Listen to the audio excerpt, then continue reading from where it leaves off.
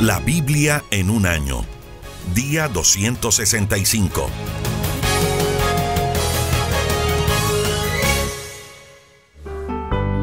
Nehemías capítulo 1.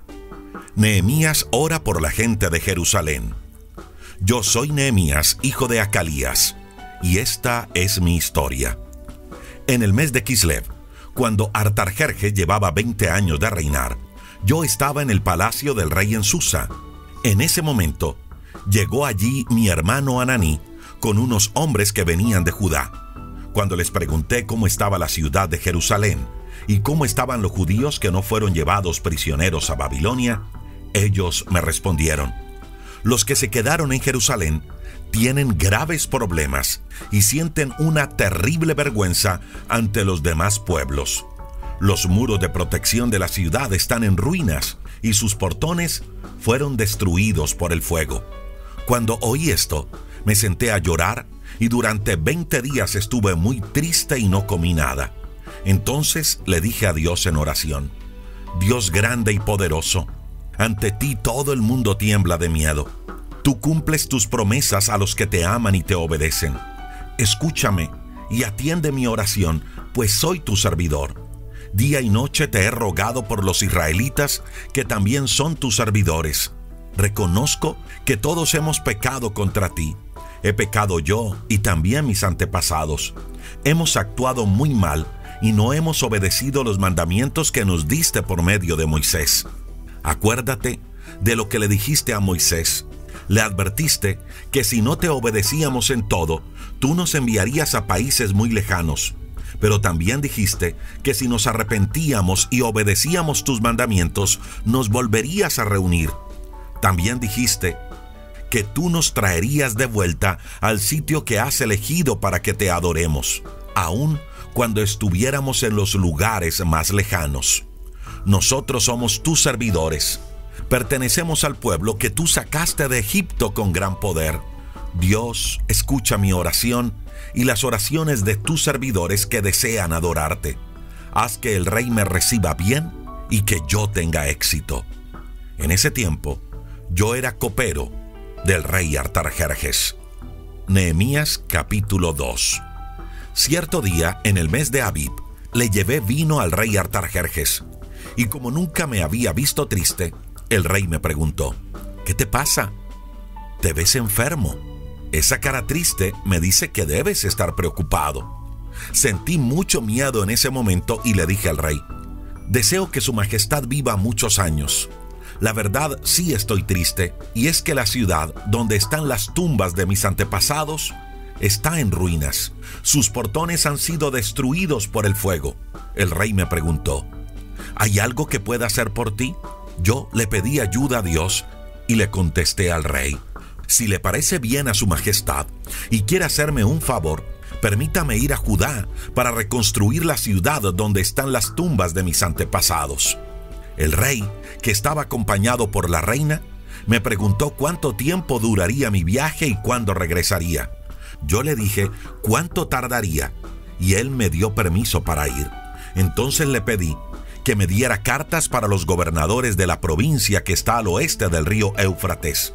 Ellos debían permitirme pasar por sus territorios para llegar a Judá. También le pedí una carta para Asaf, que era guardabosques del rey.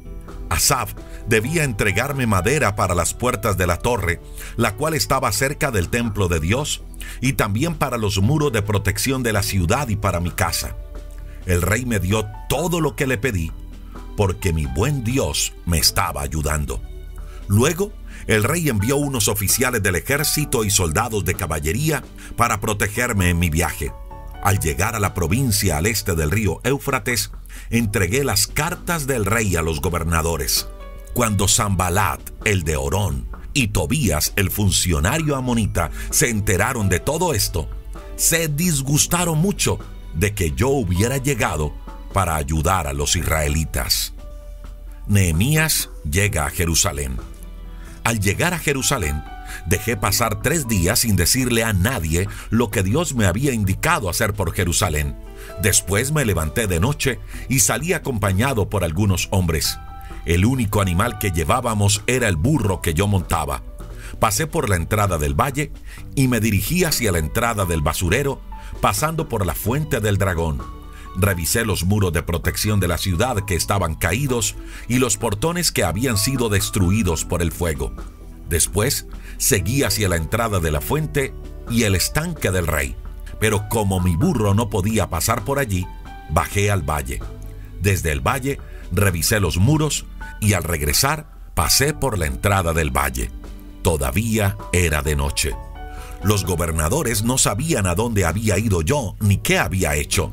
Tampoco los judíos, pues todavía no les había contado nada a los sacerdotes, ni a los jefes, ni asistentes, ni a los que iban a ayudar en la obra. Entonces les dije, ustedes conocen bien el problema que tenemos, porque los muros de Jerusalén están en ruinas y sus portones se quemaron. Pero vamos a reconstruirlos para que no se burlen más de nosotros. Les conté también cómo mi buen Dios me había ayudado y lo que el rey me había dicho. Entonces ellos respondieron, manos a la obra, y muy animados se prepararon para iniciar la reconstrucción. Pero Zambalá del de Orón, Tobías el funcionario amonita y Gesem el árabe se burlaron de nosotros y dijeron, ¿qué se traen entre manos? ¿Se van a poner en contra del rey? Yo les contesté, Dios gobierna desde el cielo y con su ayuda tendremos éxito. Ustedes no tienen autoridad en Jerusalén, tampoco tienen ningún derecho, pues no son parte de su historia. Nosotros haremos los trabajos de reconstrucción. Comienza la reconstrucción. Nehemías capítulo 3. Entonces comenzó la reconstrucción. Los sacerdotes, junto con su jefe Eliasib, reconstruyeron la entrada de las ovejas reconstruyeron los muros de protección hasta la torre de los cien y la torre de Ananel y colocaron los portones. Luego dedicaron a Dios esa entrada. Los hombres de Jericó reconstruyeron la sección de los muros que seguía. En la siguiente sección trabajó Sakur, hijo de Imri. La familia de Sená reconstruyó la entrada de los pescados.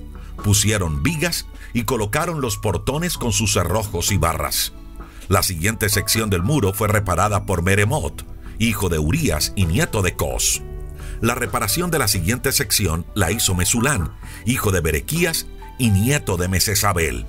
La siguiente sección fue reparada por Sadoc, hijo de Bana. La gente de Tecoa se hizo cargo de la siguiente sección, pero los hombres importantes de ese pueblo no quisieron ayudar a los que dirigían la obra. Joaidá hijo de Paseac, y Mesulán, hijo de Besodías, repararon la entrada de Gesená, le pusieron vigas y colocaron los portones con sus cerrojos y barras. Melatías de Gabaón y Gadón de Meronot repararon la siguiente sección del muro, junto con la gente de Gabaón y de Mispa. Estas dos regiones estaban a cargo del gobernador de la provincia que está al oeste del río Éufrates. En la sección que seguía trabajaron Uziel, hijo de Araías, que era muy bueno trabajando con objetos de plata, y Ananías, que preparaba excelentes perfumes. Estos dos repararon el muro de Jerusalén hasta el muro ancho. La siguiente sección la reparó Refaías, hijo de Ur, que era gobernador de la mitad del distrito de Jerusalén. Jedaías, hijo de Arumaf, reparó la siguiente sección que quedaba frente a su casa. El trabajo de la siguiente sección la hizo Atus, hijo de Asabnías. Malquías, hijo de Arín, y Asun, hijo de Pad Moab, repararon la siguiente sección y la torre de los hornos. En la sección que seguía trabajó Salún, hijo de Aloés, ayudado por sus hijas. Aloés era gobernador de la otra mitad del distrito de Jerusalén. Anún y los que vivían en Sanoac repararon la entrada del valle. La reconstruyeron, le colocaron los portones con sus cerrojos y barras y también repararon 450 metros del muro hasta la entrada del basurero. Malquías, hijo de Recab, que era gobernador del distrito de Bet Akerem, reconstruyó la entrada del basurero, le colocó los portones con sus cerrojos y barras. Salum, hijo de Coolse, que era gobernador del distrito de Mispa, reparó la entrada de la fuente, la cubrió con un techo y colocó los portones con sus cerrojos y sus barras. también arregló el muro desde el estanque de Siloé, que está junto al jardín del rey, hasta las escaleras que bajan de la parte más antigua de la ciudad de Jerusalén. Nehemías, hijo de Azbuc, que era gobernador de la mitad del distrito de Betsur, reparó la siguiente sección del muro que está frente a la tumba de David, hasta el estanque de agua y el cuartel de los soldados. Los colaboradores de la tribu de Leví. Estos fueron los descendientes de Leví que trabajaron en la reconstrucción del muro de protección. Reún, hijo de Baní, y después Asabías, que era gobernador de la mitad del distrito de Keilah. Repararon la sección que seguía en representación de su distrito. Luego continuó el trabajo Babai, hijo de Enadad, que era gobernador de la otra mitad del distrito de Keilah. Eser, hijo de Josué, gobernador de Mizpah, reparó la sección frente a la calle que lleva al depósito de armas de la esquina. Después Baruch, hijo de Sabai, reparó la sección que va desde la esquina hasta la puerta de la casa de Eliasib, el jefe de los sacerdotes. Meremot, hijo de Urías y nieto de Cos, reparó la sección que va desde la puerta de la casa de Eliasib hasta donde termina. Los sacerdotes también reconstruyeron. Los sacerdotes que vivían en el valle del río Jordán trabajaron en la reconstrucción de las secciones que seguían. Luego los sacerdotes Benjamín y Asub repararon la sección del muro que quedaba frente a su casa. Azarías, hijo de Maesías, nieto de Ananías, reparó el muro junto a su casa. Binui, hijo de Enadad, reparó otra sección que va de la casa de Azarías hasta el ángulo de la esquina. Palal, hijo de Usai, reparó el muro frente a la esquina y la torre alta del palacio del rey que está en el patio de la guardia. Pedaías, hijo de Parós, y los servidores del templo que vivían en Ofel repararon la sección del este que está frente a la entrada del agua. También repararon la torre. Otros colaboradores. Los de Tecoa repararon la sección del muro que iba desde enfrente de la torre grande hasta el muro de Ofel. Algunos sacerdotes repararon el muro frente a sus casas desde la entrada de los caballos. También Sadoc, hijo de Imer, reparó el muro frente a su casa.